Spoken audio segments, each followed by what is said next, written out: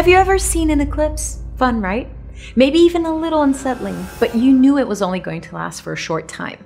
It must have been terrifying for early mankind. Your faithful companion in the sky just up and disappears.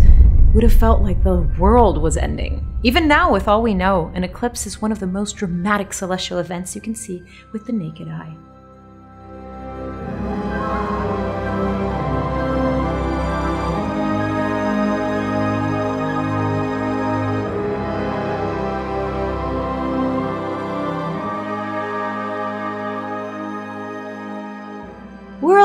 More blase about astronomical events these days.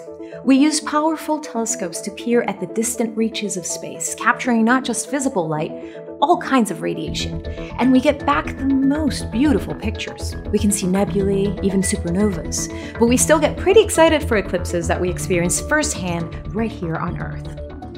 You may be a little fuzzy on the details. You know, an eclipse has something to do with the Earth getting in the way of the moon, or is it the moon getting in the way of the sun? Which is for solar eclipse and which is for a lunar eclipse? Let's take a closer look. Sometimes the sun, the earth, and the moon all line up along a straight line. When the Earth is in the middle, the shadow of the Earth can fall on the Moon, which is a lunar eclipse. Or, in the other arrangement, with the Moon in the middle, the shadow of the Moon can fall on the Earth, which is a solar eclipse. Notice that these eclipses only happen during a new moon in the case of a solar eclipse, or a full moon in the case of a lunar eclipse. But why don't these happen every single month? You know that the moon orbits the Earth, and the Earth orbits the Sun. But these orbits don't take place in the same plane. There's a difference of about 5 degrees between the plane of the Earth's orbit and the plane of the Moon's orbit.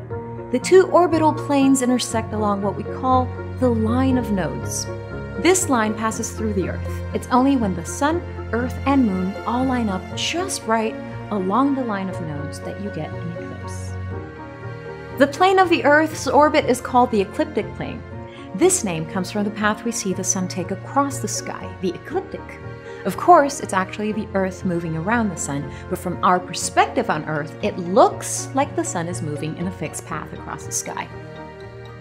This idea dates back to the ancient concept of a celestial sphere. The Greek scholars of antiquity proposed the heavens consisted of concentric crystalline spheres with Earth in the middle. The Sun, the Moon, and other planets were each thought to have their own invisible sphere that could freely rotate, and the distant stars were fixed in place on a single distant sphere. The celestial sphere is still a useful way to picture our heavens. To an observer on Earth, all celestial objects, no matter their distance, appear projected on the inner surface of the celestial sphere, as if we were living under a dome. Elements of spherical astronomy are still used today whenever we look for celestial objects based on a particular date, time, and position on Earth, like eclipses. During an eclipse, the moon happens to land along the sun's apparent path across the sky, the ecliptic. That's why we call it an eclipse. During a full moon, the sun and the moon are on opposite sides of the Earth.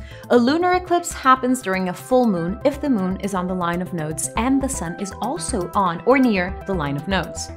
Now, all three celestial bodies are in a straight line, and the shadow of the Earth falls on the moon.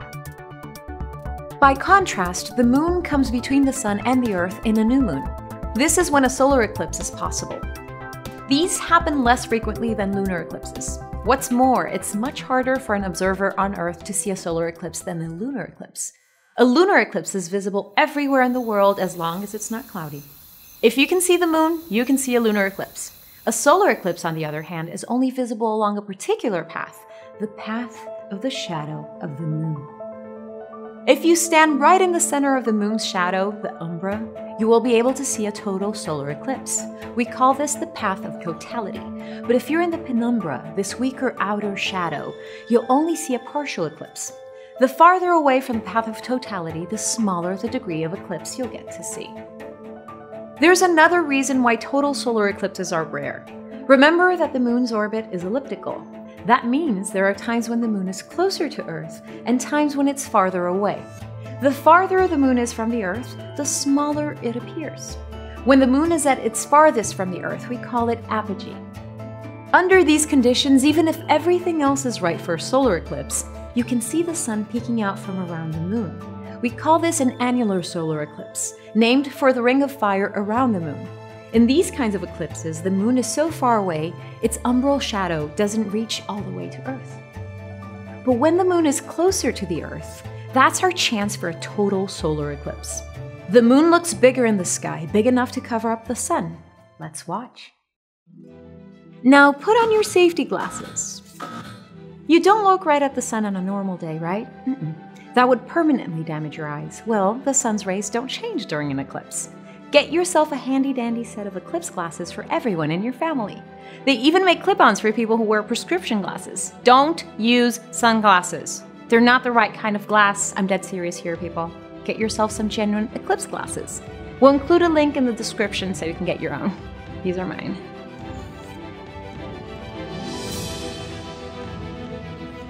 Hmm, here's what you'll get to see during a solar eclipse if you're lucky enough to be in the path of totality. Phase 1 Partial Eclipse. Put on your glasses. You're going to keep these on until the eclipse is at 100%. No peeking.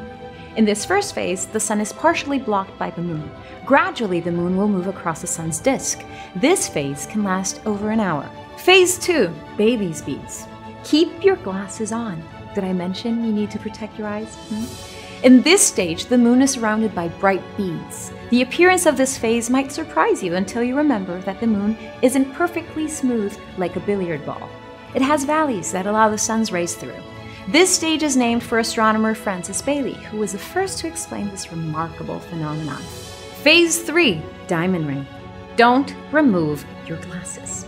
This phase is very, very short. Baily's beads disappear until there is one final bead left. One last burst of sunlight through the moon's valleys creates what looks like a diamond ring. These are the last seconds before the total solar eclipse.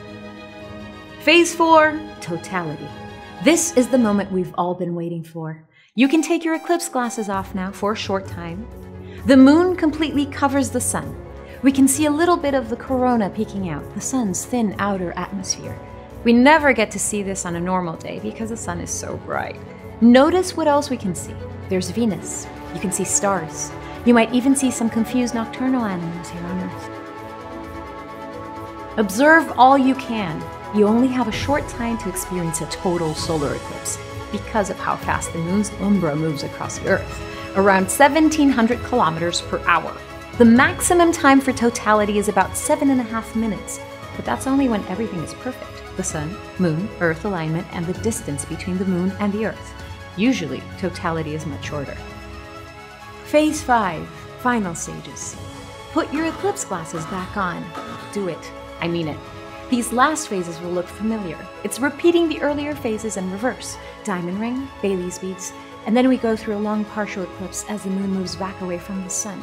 Keep your eclipse glasses on from here on out. We're coming back to normal life. Everyone in the world gets many chances to see a lunar eclipse usually a couple a year, but solar eclipses are less frequent, and they often occur over water rather than on land. Some solar eclipse chasers will travel long distances and even go out on boats far from land to be able to witness this dramatic disappearance. If you have the chance to see a solar eclipse, grab it! But don't forget these little beauties.